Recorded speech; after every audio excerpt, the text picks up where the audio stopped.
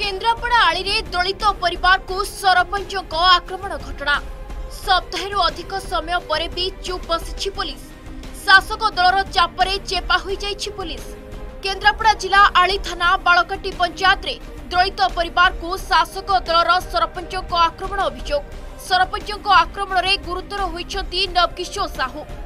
ଘଟଣାର ଚାରିଦିନ ପରେ ବି ଚୁପ୍ ବସିଛି ପୋଲିସ ନା ଅସହାୟ ଲୋକଙ୍କ ଦୁଃଖ ଶୁଣୁଛି ନା ସେମାନଙ୍କ ସହାୟତା କରୁଛି ଏପରିକି ସେମାନଙ୍କ ଅଭିଯୋଗ ମଧ୍ୟ ଗ୍ରହଣ କରିନଥିବା ଅଭିଯୋଗ ହୋଇଛି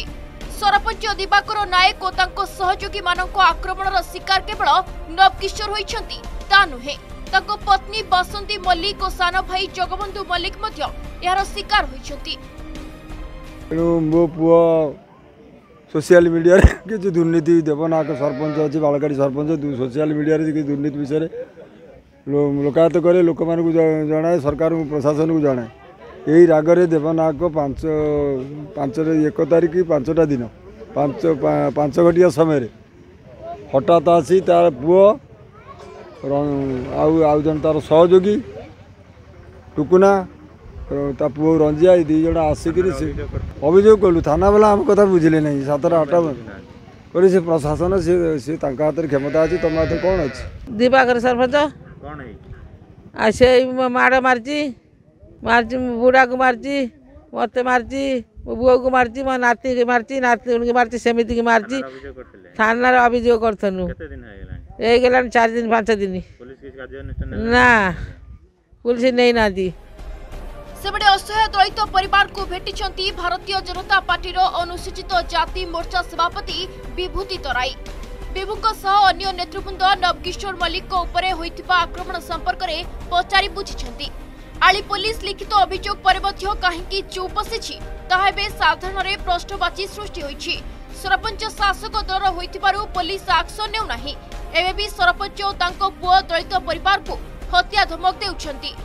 ଭୟରେ ତାଙ୍କ ଗାଁ ଆଳି ବାଳକଟି ଛାଡ଼ି ଆସି ରାଜକନିକା ବ୍ଲକ ଅନ୍ତର୍ଗତ ବଳିଭଣ୍ଡା ଗାଁରେ ରହୁଛନ୍ତି আড়ি থানা অধিকারী যদি দোষীঙ্ক বিরোধে কিছু কার্যানুষ্ঠান ন নিয়ন্তি তবে আগামী দিনের বড় আন্দোলনকু ওহ্লাইবে বলে চেতাবনী দিয়েছেন ভারতীয় জনতা পার্টি আমার জন দলিত পরিবার যেভাবে ভাবে নির্মম অত্যাচার শিকার হয়েছে নব মলিক এবং তাঁর ভাই জগবন্ধু মলিক নব মলিক নির্মম ভাবে মাড় ମାରିଛନ୍ତି এবং তাঁর ভাই জগবন্ধু ମଲ୍ଲିକର ମୁଣ୍ଡକୁ ଫଟେଇଛନ୍ତି ଏବଂ ଇଏ କାଣ୍ଡ କାରଖାନାର ମୁଖ୍ୟ ଆସାମୀ ହଉଛନ୍ତି ଆମର ବାଳକାଟି ପଞ୍ଚାୟତର ସରପଞ୍ଚ ଦିବାକର ନାୟକ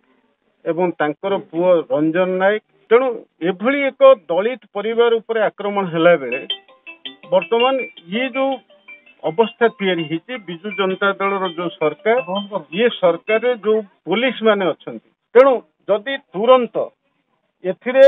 କେନ୍ଦ୍ରାପଡ଼ା ଜିଲ୍ଲାର ଏସପି ହସ୍ତକ୍ଷେପ ନ କରନ୍ତି ଏବଂ ଇଏ ଦଳିତ ପରିବାରକୁ ସୁରକ୍ଷା ନ ଦିଅନ୍ତି ଆଗାମୀ ଦିନରେ ଆମର କେନ୍ଦ୍ରାପଡ଼ା ଜିଲ୍ଲା ବିଜେପି ତରଫରୁ ଏବଂ ରାଜ୍ୟ ବିଜେପି ତରଫରୁ ନିଶ୍ଚିତ ଭାବରେ ଏହା ଉପରେ ଆମେ ଆନ୍ଦୋଳନକୁ ଓହ୍ଲାଇବୁ ଦଳିତ ପରିବାରକୁ ନ୍ୟାୟ ଦେବାକୁ ଏବେ ଦାବି ଜୋର ଧରିଛି କେନ୍ଦ୍ରାପଡ଼ା ରାଜକନିକାରୁ କମଳ ଲୋଚନ ଗିରିଙ୍କ ରିପୋର୍ଟ ଅର୍ଗସ୍ ନ୍ୟୁଜ୍